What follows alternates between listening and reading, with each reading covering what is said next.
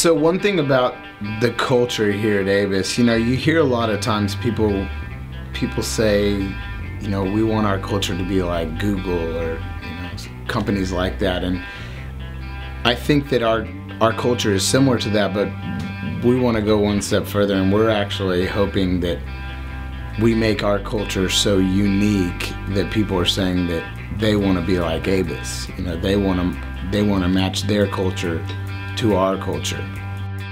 When someone interviews to work here, they don't just sit down with the boss. We want to hang out with that person, take them out to lunch, take them out to dinner, baseball game. We just want to get to know them.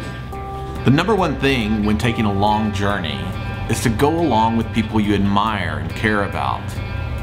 The number one thing of building a company is getting the right people on the bus. At ABIS, we put a lot of time in getting the right people on the bus. The employees that we have um, or coworkers that I work with are exactly the people that we'd be hanging out with at home. Um, we've cooked out tons of times here. Uh, when we go on barbecue, you know, these are the first people that I invite to over on my list. The people here are amazing. They aren't just my coworkers, they're my friends. I feel like family here. You know, we look to hire people that come in, make an impact from day one. Um, we're not the kind of company where you have to sit on the sidelines before you come in and make a decision or, or offer any ideas. We're looking for people that from the day they walk in, they can start offering their ideas and we can start putting those into the mix. You have to be a part-time comedian to work here. I work with a bunch of badasses. Everyone's work ethic is um, incredible and it challenges me to um, take it to the next level in my work. Donc euh, le PDG Russell Schulte nous met dans les, dans les, meilleures conditions de travail en nous offrant le, le meilleur pour, euh, pour, notre quotidien ici. Euh, que ce soit le, les bureaux en général, le matériel de bureau, la façon de travailler aussi. Il nous donne vraiment tout ce dont on a besoin pour produire le meilleur travail.